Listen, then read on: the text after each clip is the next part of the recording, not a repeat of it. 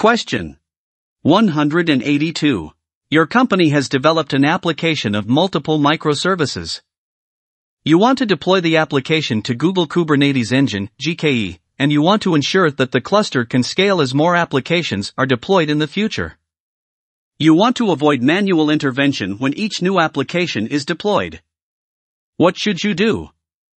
A. Deploy the application on GKE and add a horizontal pod autoscaler to the deployment. B.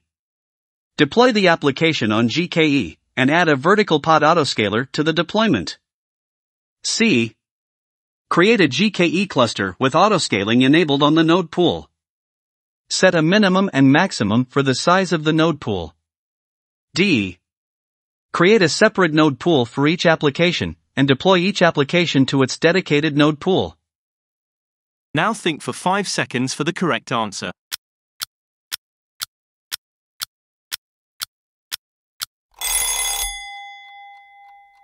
The correct answer is C.